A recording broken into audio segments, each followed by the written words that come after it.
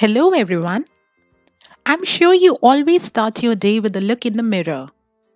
The reflection that you see in the mirror is due to specular reflection. But what about the objects that you see around you? They certainly are not reflections, but you see them due to the reflection of light from them. Well, to be precise, it is the diffuse reflection that allows you to perceive the world as it is. In this video, we are going to discuss about these two types of reflection in detail.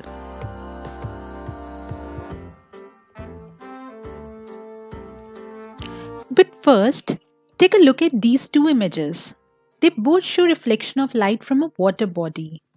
Can you observe any difference between the images formed in each? In one of them, the water body reflects sharp and clear images of the objects around it, while in the other, the water body reflects blurred and hazy images. What is the reason behind such a striking difference? Let us find out.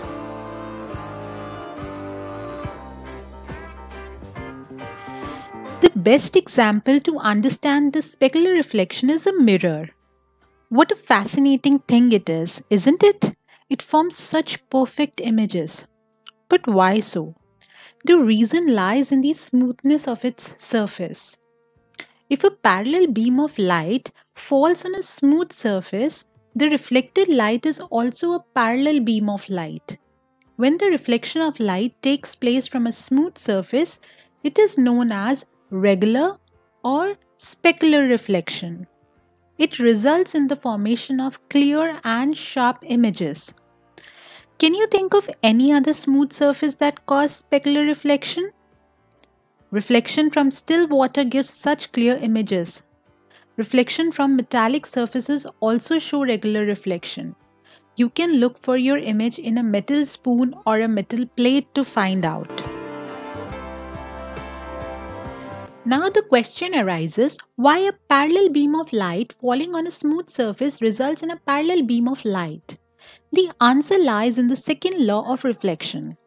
In reflection from a smooth surface, all the surface normals are parallel.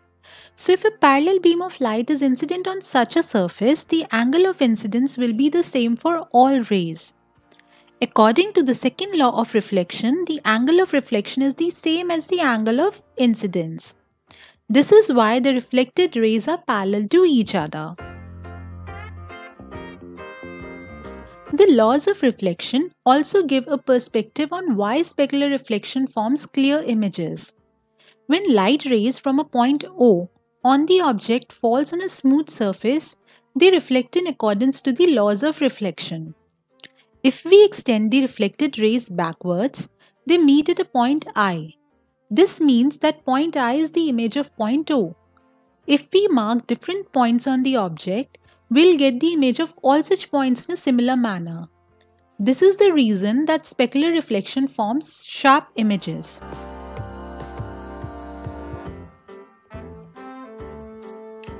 See the image formed by a wavy water surface. The image is blurry and hazy. The reason again lies in the smoothness of the surface. If a parallel beam of light falls on a rough surface, the reflected rays will travel in different directions. You can say that light rays scatter in all directions after reflection. Hence the usage of the term diffuse. So, when reflection of light takes place from an irregular or a rough surface, it is known as diffuse reflection. In most of the cases, diffuse reflection does not form images. But if it does, the image is blurry and hazy. Again, the second law of reflection explains why a rough surface scatters a parallel beam of light incident on it. In reflection of a parallel beam of light from a rough surface, the angle of incidence will differ for each ray, as the surface normals are different for different rays. Thus, the angle of reflection is different for each incident ray. This is why a rough surface scatters light in all directions. You can also use the laws of reflection in case of diffuse reflection to see if any image is formed. You will see that the light rays from point O on the object incident on a rough surface diffuse in all directions. The reflected rays do not meet or appear to meet at any point. This is why no image is formed of the object. I hope this clarifies the concept of specular and diffuse reflection.